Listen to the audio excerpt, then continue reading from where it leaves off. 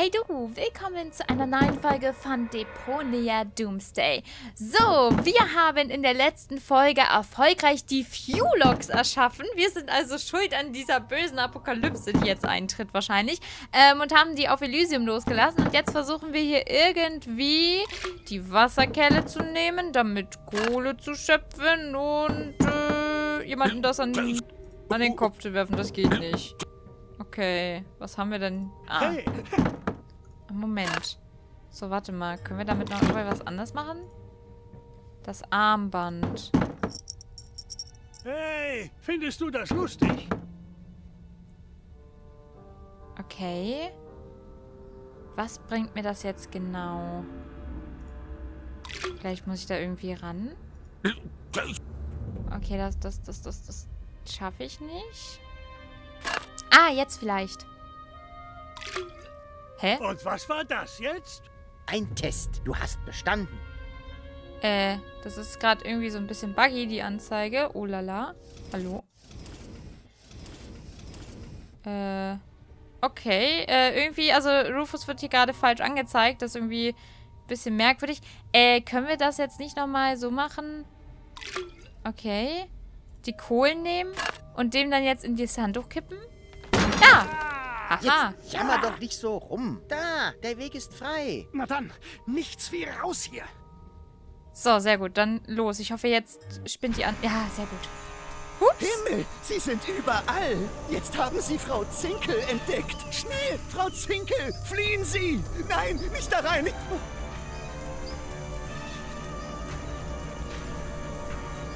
Da geht der Waffelstand.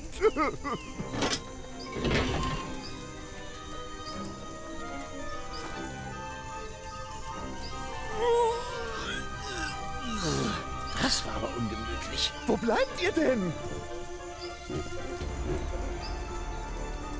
Hier ist die Hölle los.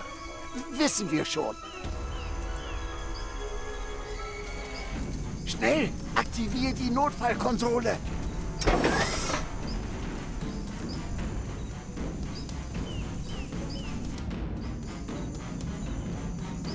Kann sich irgendjemand an die Codes erinnern? Die stehen auf einem Zettel im Notfallcodefach. Gut nachgedacht. Wie ist der Code für das Fach? Ähm, wartet, das kriege ich raus. Ist sozusagen meine Spezialität.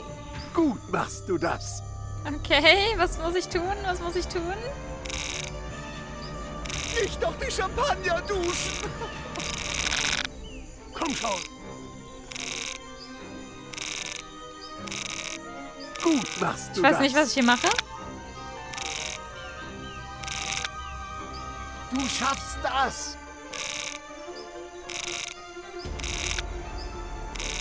Die schönen Marmorfresken. Du schaffst das. Was mache ich denn hier? Duschen. Du Ähm, schaffst das. Ähm, Oh, der Blattgoldwald brennt. oh Gott, es brennt alles. Sie haben die Sushi-Fontäne entdeckt. Warte, warte, warte, warte, warte. Sieh zu. ja, warte doch halt. Also, wenn ich das... das ah! Hab schon. Sie haben die Sushi-Fontäne Hab schon geschafft. Keine Ahnung wie, hab schon. Komm schon. Da, ich hab die Codes. Zu spät.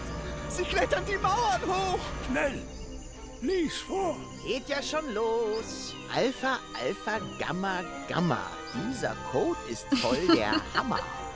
Sie kommen durch den Liftschacht. Oh oh. Gamma, Beta, Gamma, Beta. Abbruch lieber jetzt als später. Es funktioniert nicht. Weil das die Abbruchcodes sind. Die richtigen Codes stehen auf der Rückseite. Ah, ah, Sie haben mein Bein. Sie kommen, Rufus, sie kommen.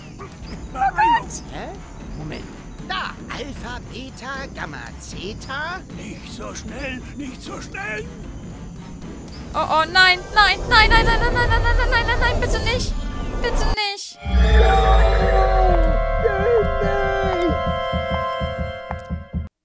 Oh Gott. Scheibenkleister. Das Hey, Oh, Klon. Sind etwa die... Ja, verdammt, die Dienstbots haben irgend so eine Krankheit, die ich mir gerade ausgedacht habe. Wie heißt, habe ich vergessen. Und den blöden Helm bringe ich auch zur Reinigung. Ähm, aha, dann machen Sie das. Aber pronto. Ähm, wir haben gerade diese Abbruchcodes bekommen.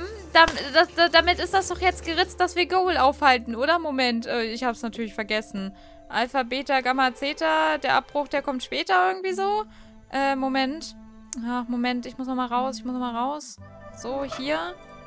Oh, nee, ich will das nicht nochmal machen. System. Komm schon. Ja, äh, weiter. Anrufen. Los geht's. Ja, da spielst ich. So, mal gucken, ob das jetzt funktioniert. ja? Eigentlich müsste ich es mir jetzt gemerkt haben. So, hier, Selbstzerstörung. Okay, mach was. Okay. Hey, Ich leite die Selbst... das war. Na, Alpha, Alpha, Schubidubi, Oh dieser Code ist voll der Hammer. Obwohl, nein, stopp. Das waren die Abbruchcodes. Was murmelst du denn da? Jetzt hab ich's. Alpha, Beta, Schnuppel, Wuppel. So. Du hast die Selbstzerstörung. Yay! Ich bin ein Genie. Du hast grandiose 30 Sekunden Zeit, um Elysium zu evakuieren. Oh oh. Wenn ich Daumen hätte, würde ich sie jetzt drücken. Okay, das ist krass. Zum Glück weiß ich, dass du das nicht durchziehst. Na los, schalte das ab. Dumm, dumm, ich sehe dich nicht den Fahrstuhl anhalten. Okay, du hast gewonnen. Yes. Ich warte hier unten auf dich. Und nun, Abbruch. Nichts leichter als das. Das werden wir gleich haben. Noch 20 Sekunden. Alpha, Beta, Epsilon. Nee, wie war das? Schnell! Es fing mit Alpha an. Ich hab doch schon gesagt, dass ich hier bleibe. Hetz mich nicht. 10 Sekunden. Oh oh. Gamma. Irgendwas ist voll der Burner. Der Hammer! Du sagst es. 5, 4, Ja, ich weiß. 3, 2. Oh oh. Oh, wie ist passiert? Cletus? Nein, warte. Du bist. Wer zum Henkel bist du? Niemand Geringeres als deine Zukunft. Aber du kannst mich ruhig Rufus nennen. Eine tolle Zukunft habe ich da. Hey. Du hättest beinahe Elysium gesprengt. Auch nicht viel besser als das, was ihr mit Deponia vorhabt. Warte mal. Du bist Deponianer? Dann ist es wahr. Es gibt Leben auf Deponia. Hm, Womit sich die Inspektionsreise wohl erübrigt hätte. Im Gegenteil, Deponia ist bewohnt. Ich muss es einfach sehen. Wozu? Du sprichst bereits mit der Creme de la Creme. Der, der Rest ist... Genau, wie der da. Noch ein Deponianer? Genug gesehen? Super. Wir haben nämlich nicht viel Zeit, um die Ewigkeit zu genießen. Oder um den Teufelskreis zu durchbrechen. Ach, hier wird heute gar nichts mehr durchbrochen. Ich bin auf Elysium. Mit Goal. So, das lassen wir jetzt einfach mal so. Wovon redet ihr denn da? Wir sind in eine Zeitschleife geraten. Wenn wir nichts unternehmen, wird sich dieser Tag auf ewig wiederholen. Eben drum, das muss ja nichts Schlechtes sein. Wow, das klingt aufregend. Was können wir tun? Funzone? Nein, wir müssen nach Deponia. Yes!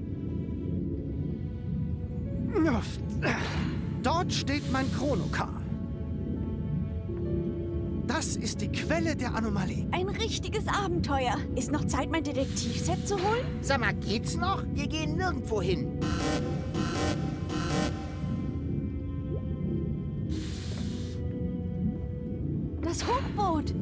Damit wäre das wohl entschieden. Aber Und sie lebten glücklich und zufrieden. Ohne überhaupt in die Nähe des Endes aller Tage zu kommen.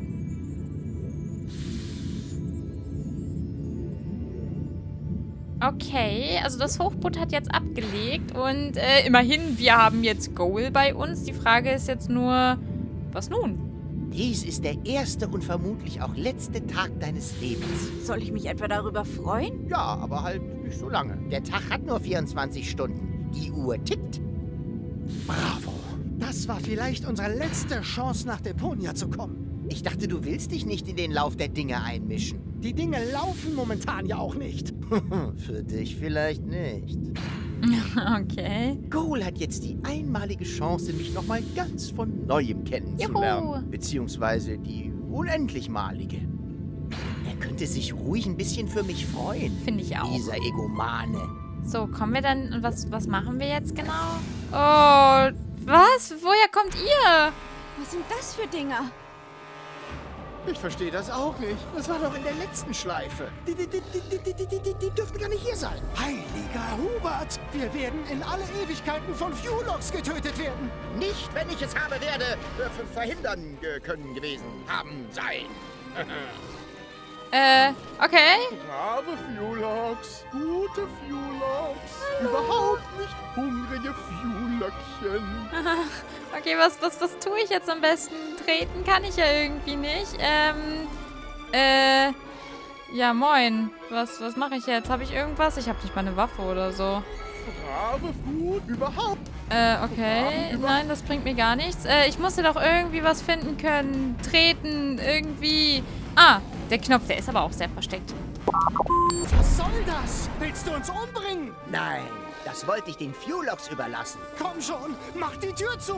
Ich hab Höhenangst. Ist sie größer als deine Angst, von den Fuelox zerfleischt zu werden? Immerhin groß genug, dass ich immer einen Fallschirm im Rucksack habe.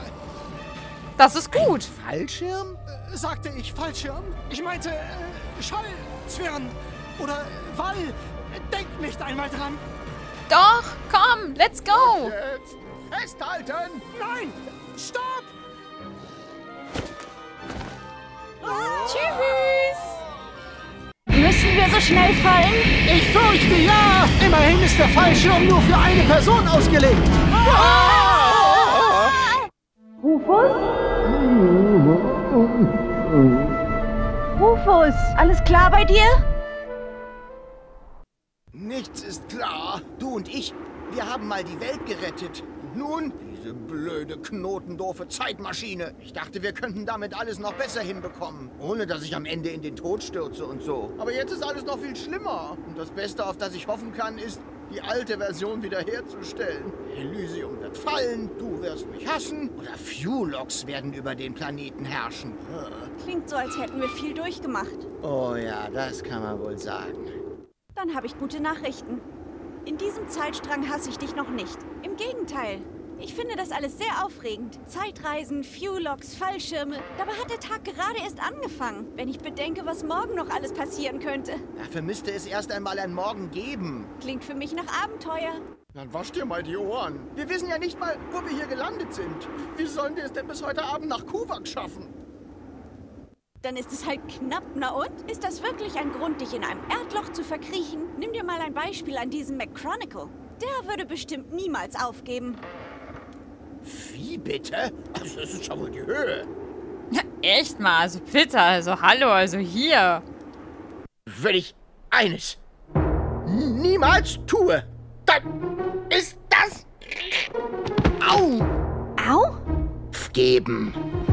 Wen juckt es schon, dass Elysium jetzt Fuelock verseucht ist? Oder dass wir alles verändert haben, was Deponia vor der Sprengung bewahrt hätte?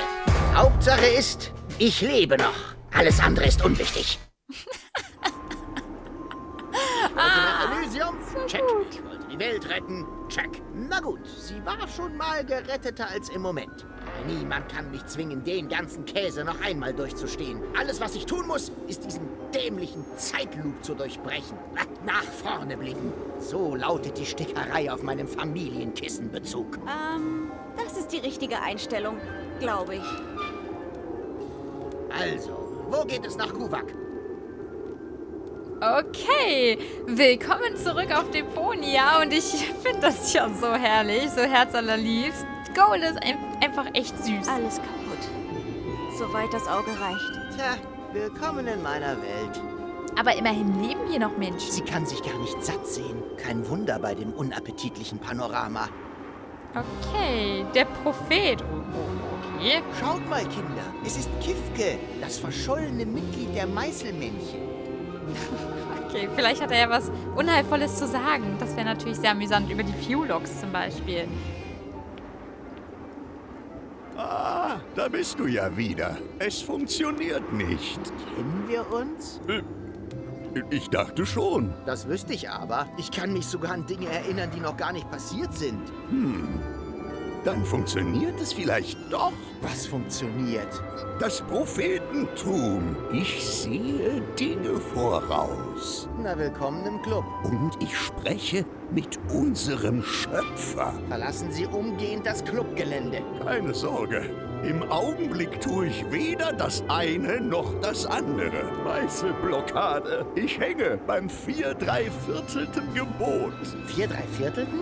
Ja, das dritte ist etwas länger geworden. Na und, wen juckt's? Nun, der Platz auf dem Stein ist begrenzt. Dazu kommen die hohen Lokalisierungskosten. Und trotzdem redest du und redest du. Man könnte fast von Labern sprechen. Ursprünglich sollten es nur drei Gebote werden. Aber ich habe das Gefühl, mir fehlt noch ein guter Abschluss. Glück im Unglück. Du bist genau an den richtigen geraten. Drei Gebote, drei Spiele. Hm. Wer da Parallelen sieht. Wie wär's mit, du sollst nicht langweilen deinen Nächsten? Hm. Ich weiß nicht. Manche Leute können das gar nicht beeinflussen. Sigi aus meiner Knettherapie zum Beispiel redet ganz häufig über Arbeitskollegen, die... Ähm, hörst du mir überhaupt zu? Ich würde das Schwarze nehmen. Das Blaue? Wie wär's mit, du sollst nicht jenen, die beeinflussbaren, schlichten Gemütes sind, dein Weltbild aufquatschen? Das Auf keinen Fall. Was? Genau das ist doch mein Plan. Ach ja. Sorry. Wie wär's mit, du sollst großzügig Hammer und Meißel an Fremde verborgen? Guter Versuch. Wie wär's mit, niemals sollst du Dinge in Stein meißeln? Oh, das gefällt mir. Es ist äh, prägnant. Und es hat dieses selbstironische Augenzwinkern, das man sonst nur im Titel von Hip-Hop-Alben findet.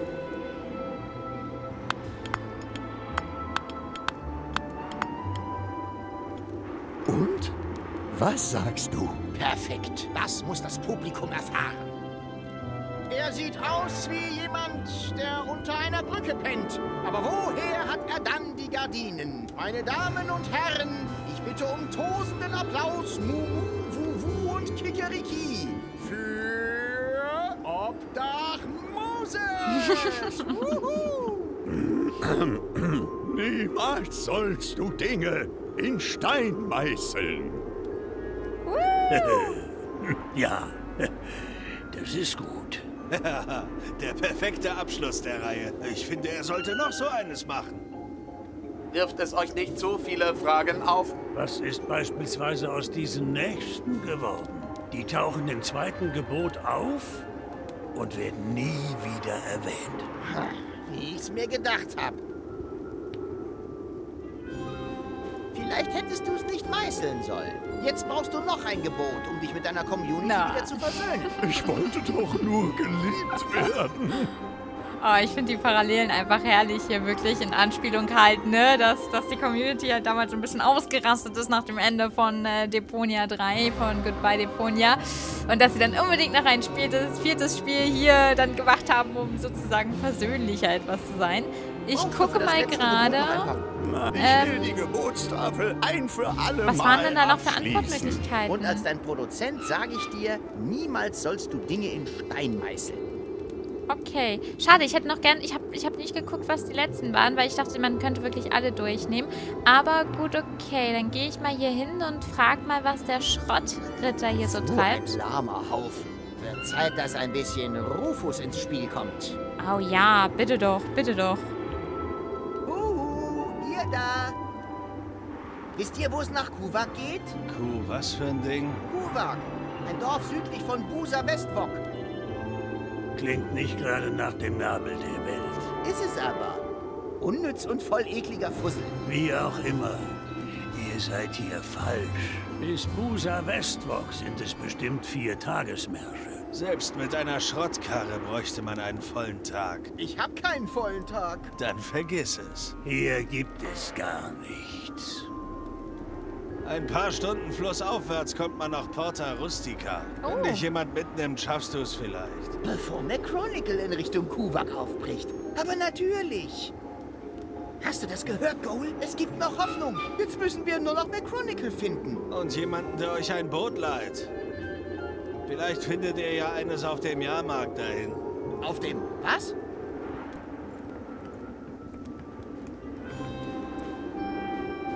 Glaube, ich habe McChronicle gerade gefunden. Okay, alles klar. Ich habe ja übrigens gesehen, wir sind ja eigentlich in den Grab gefallen, ja. Das ist ja... Hm, also verspricht ja nichts Gutes für deine Zukunft. Rufus, Weltenretter, Spionage, Cowboy, Hinternmodel. Das ist ja unglaublich. Ich habe doch extra prüfen lassen, ob ich einen Namensvetter im Hinternmodel-Business habe. Sonst hätte ich doch niemals die ganzen Flyer gedruckt.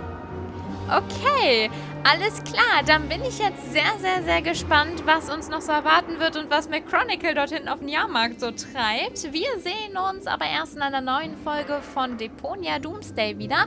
Und bis dahin verabschiede ich mich von meiner Seite aus und sage ciao, ciao.